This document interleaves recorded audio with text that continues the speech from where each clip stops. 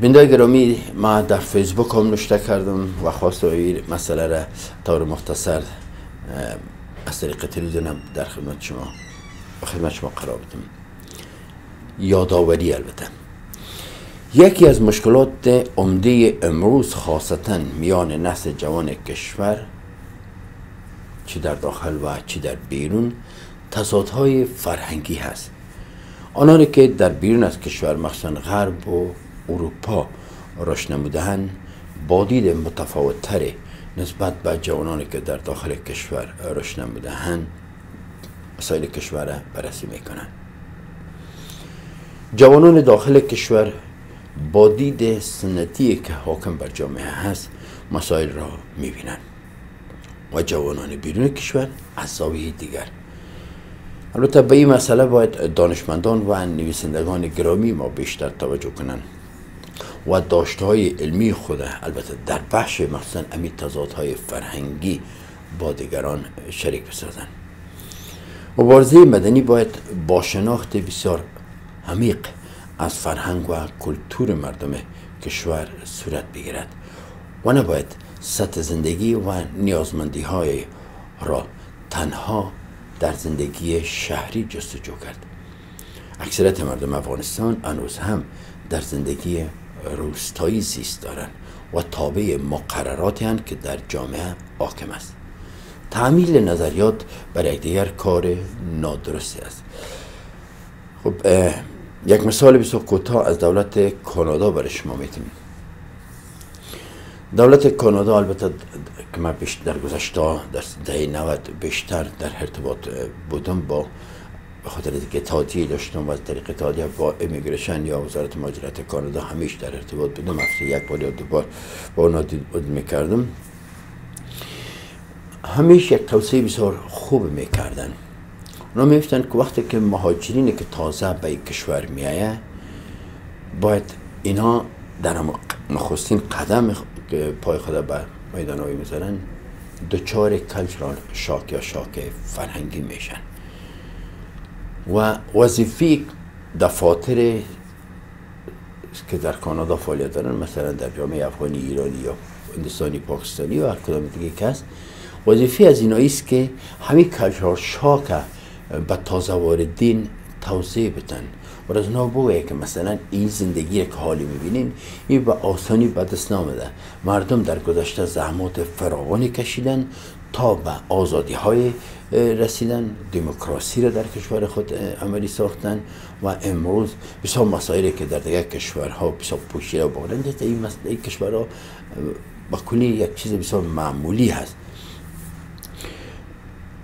که باید این چیزها را تازه واردین بفهمن و درک کنند که تامین حقوق شهروندی حتی در همین غرب با آسانی به دست نامده مثلا اگر ما مبارزات زنا را در امریکا و کانادا و اروپا بررسی کنیم می‌بینیم که سالها و سالها طول کشید تا اینا با آزادی های نسبی رسیدن و دهه ها طول کشید تا زنان از حقوق حداقل رای دادن در انتخابات اینا برخوردار شدن. پس یک مبارزه بسیار مدنی بود که مردم دانشمندان نویسنده ها در متن جامعه خود داخل شدن.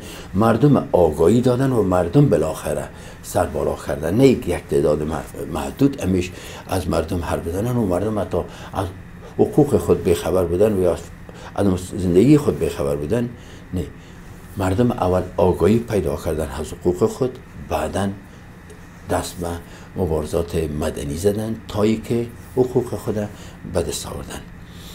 یک یادآوری البته بینده گرامی و همچنان سالانه دولت کانادا میلیون ها دلار مصرف می‌کنه تا ماجرینی که در کشور مقیم شدن از هر کشوری که هستن در حفظ زبان مادری و ارزش های فرهنگی خود بکشن خب این مختصر بینده گرامی ما به خاطر یاد کردم که دوستان سوال کرده بودند در مورد جنجال های اخیری که بالا یک تن از هنرمندان ما به وجود آمده بود. که امیدوارستم همین مختصر کافی بوده باشد. اما یک چیز دیگر می‌خوایم بینده گرامی یاد کنم. مشکل از خانم آریانا سعید شروع شد.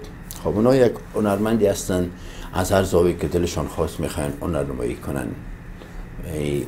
دنیای هنر دنیای جدا هست زندگی عادی و متفاوت است.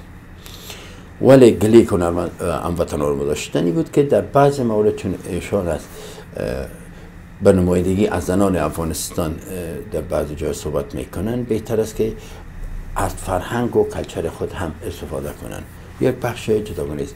اما در پهلوی ازی عکس هم از هموطنان ما به نشر رسید و با تاسف که همگی اون عکس به تمسخر گرفتن. عکسی که هموطنان ما برای رفع ضرورت و یا قضای آجت در یک صف استاد بودن و استنجا می‌کردن یا هر کاری. برای بسیار جالب بود که حتی چیز فهمان و روشنفکران و فرهنگی های ما هم همین عکس تنها تمسخر کردن. انسان های وطن ما را تمسخر کردن. در حالی که اونها تقصیری ندارن. اونها هیچ مشکلی ندارن. ما همیش بیندای گرامی یادآور شدیم که خوب است بعضی وقتا هموطنان ما که به کتاب ها دسترسی دارن کتاب بسیار معروف عزیز نسین بخوانن که مو کتاب بخشش که میگه عقل مردم در چشمایشان است. ما معمولا از چشم می‌بینیم و آجر قضاوت می‌کنیم و مردم خود تمسخر می‌کنیم. اما در ریشه اگر بریم باید در کل دولت های کنونی و گذشته افغانستان باید مورد انتقاد و تمسخر قرار بگیرند که زمینه یک زندگی آبرومند نتونستند در داخل کشور و مخصوصا در پایتخت افغانستان آماده بسازند. یا تا نیازمندی های مردم ما رفع شود مردم ما همه میخندن که مردم بی سواد داریم. اما هیچ کس نمیگه که چل سال دوره حکومت زاید شاه که بهترین دوره بعضی ها یاد می‌کنن. چی خدمت به سواد آموزی ملت کرد؟ 5 درصد ما در چل سال با سواد داشتیم. پس یک ریشه بدبختی ما است. و ریشه دومی که دولت های کار نکردن به خاطر رفع نیازمندی های مردم. امروز مردم ما مجبور هستن وقتی که ضرورت پیدا می‌کنن ضرورت خود رفع کنن. و این رسم بوده. ما از اون خاک هستیم بیندای گرامی. 20 سال 30 سال هر کدام ما در او خاک زندگی کردیم. و امروز بسیار شرماور است که ما یک عکس که از وطنان نیازمند خود ببینیم یا که در یک گوشه رفت ضرورت می‌کنه یا در گوشه جای نشستن و مشکل خود در مرفوع می‌سازن. ما او عکس تمسخر کنیم. ما ما او مردم تمسخر کنیم. نه ما دولت ها را باید تمسخر کنیم. ما دولت ها را باید انتقاد کنیم. ما مسئولینی که در دولت بود انتقاد کنیم.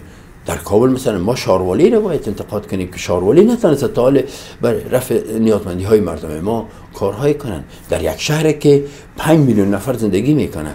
ما شاید ده دانت به اصطلاح تشناب های عمومی نداشته باشیم.